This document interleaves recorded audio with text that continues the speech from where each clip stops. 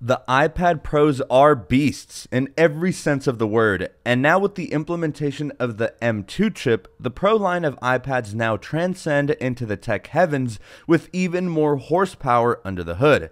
Some may say it's overkill, and I'd like to agree at times. However, I've been more than happy using my 12.9 inch iPad Pro over the years.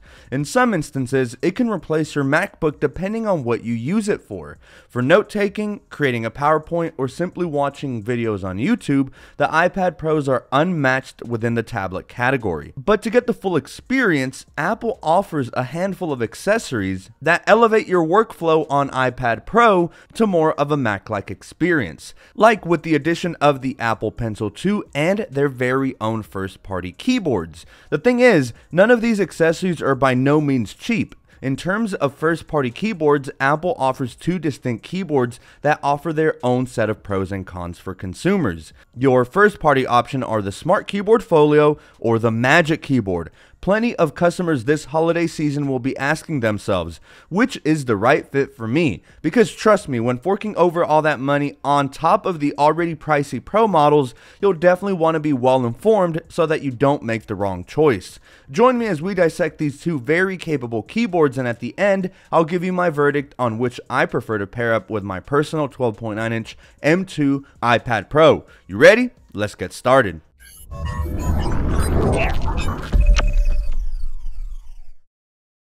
First things first, we got to cover pricing because it's a huge piece to this puzzle. So let's start with the Smart Keyboard Folio. It's only available in one color, that being black, and it'll run you $179 for the 11 inch Pro models, and for the larger variant of the 12.9 inch, that keyboard will set you back two Benjamins, with it coming in at 199 bucks.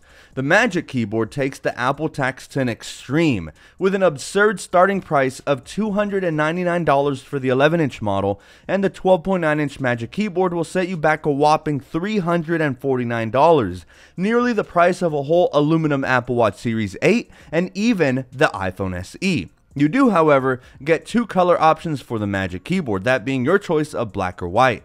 So, with such stark price differences, why on earth would one fork over all that money for a stinking keyboard? The short answer is the Apple tax, but really there's a lot more to discuss because each keyboard has certain attributes to them that may be more alluring depending on your workflow.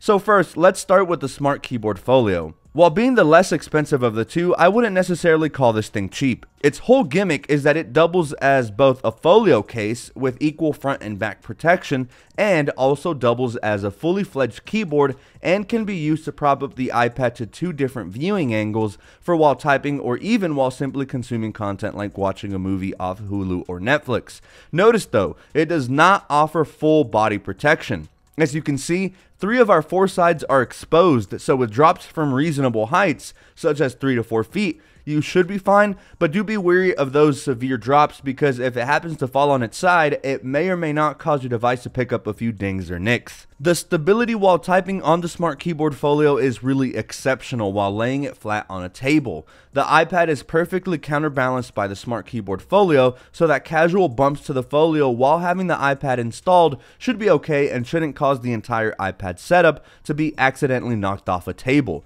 The only thing about this is that I wouldn't exactly recommend typing on this thing while having it on your lap. It's just really cumbersome and not the best experience. But here's the thing, and probably my biggest gripe I have with the Smart Keyboard Folio the keys themselves. The keys are covered in this nylon fabric like material, which gives the user an interesting typing experience to say the least. The feel of this keyboard is very different from what you may be accustomed to, such as on MacBooks. It seems to feature dome switches, the mechanism that drives these keys, versus the scissor style keys currently present on modern MacBooks. I think I can speak for most people in that the scissor style keys on current MacBooks are awesome. They're very bouncy keys with the perfect amount of travel that provides some feedback so that your fingers instantly know to strike the next key.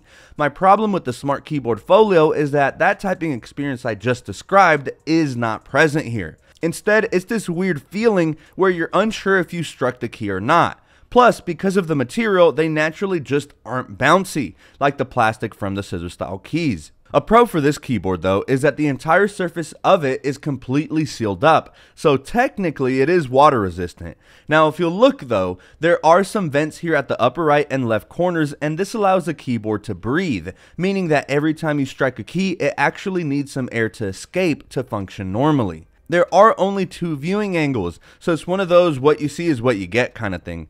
This is useful for when having to switch from work mode, say typing a report, and then maybe watch your favorite show on Netflix. And lastly, just like the Magic Keyboard, you won't ever need to recharge the keyboard nor purchase any batteries for it because they're both driven from the battery of the iPads. You just snap it in place and it's ready to be used. In comparison, the Magic Keyboard visibly has one massive feature that's very obvious to see a trackpad.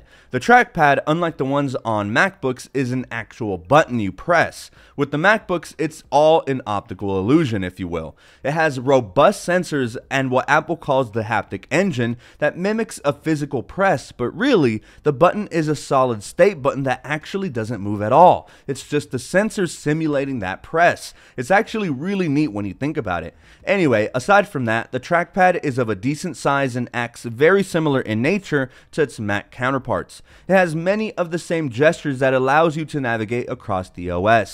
The keyboard on the Magic Keyboard thankfully features scissor style keys. It's actually pretty much identical to the same typing experience found on MacBooks. The keys are bouncy with 1mm of travel and we do have a backlight feature, but you can't actually turn it on manually. Honestly, pretty big L here. Apple really could have done a better job. So the keyboard uses the ambient light sensors from the iPad to get a gauge at the lighting scenario from your surroundings. And so if there's a lot of light, it won't turn it on. But as soon as the lights turn off or as the room gets darker, the keyboard lights up and only then can you adjust the brightness and settings. Here, let me demonstrate. You see, I dim the lights and the keyboard lights up. Pretty dumb if you ask me. There really should have been a way to manually turn it on or off on command. Additionally, what's weird is that we don't get a row of function keys, even though the Magic Keyboard Folio for the new 10th gen iPad does feature a row of function keys. Yeah, go figure. So having that row of function keys would have been so useful to easily raise or lower volume, maybe turn up the brightness, maybe pull up multitasking, or simply lock the device. The design though is pretty top tier featuring that floating hinge design, but it does have minimal tilt to adjust the viewing angle.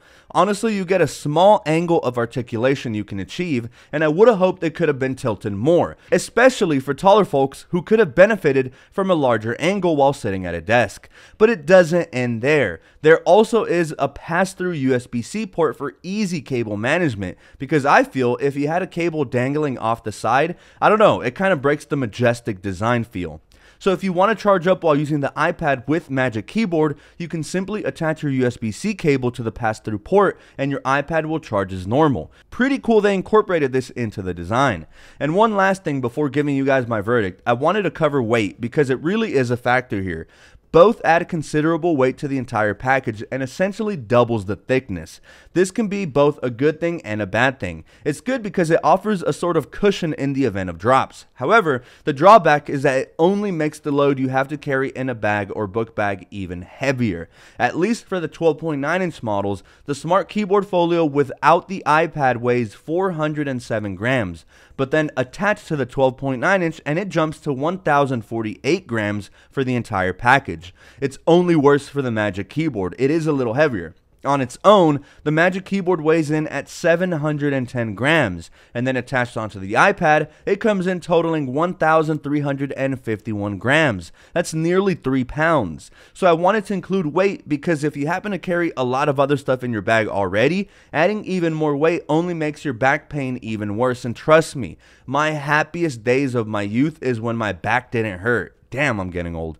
So in the end, what's my verdict? if given the option to pick between the two, I definitely would give my preference to the Magic Keyboard. Yes, I understand it's a massive pill to swallow to throw down $350 for the 12.9 inch model, but you get a ton of versatility with it. With the Smart Keyboard Folio, you're paying $200 to have a subpar typing experience, no trackpad, no floating hinge design, and no pass-through USB-C cable. I'm simply not a fan of the fabric-like material that makes the typing experience, at least for me, pretty awful. And with future iterations of iPad OS, I think the Magic Keyboard plus the software will only improve and make the Magic Keyboard even more viable. For now though, it is a ton of money, but if you can get past that hurdle, the Magic Keyboard truly elevates the iPad into a hybrid-like device that can tackle most things a MacBook can, all while also offering Apple Pencil support. And if you want, you can easily remove the iPad from the magnets to use the iPad on its own. But I want to know what you guys think. Have you had any experiences with any of these two keyboards? If so, let me know in the comment section below. Also, stay tuned as my next upload will most likely be my iPad battery drain test. And all I gotta say is that was such a close race, you really won't want to miss it. Alright guys, clocking out for now, but I cannot wait to catch you all in my next video.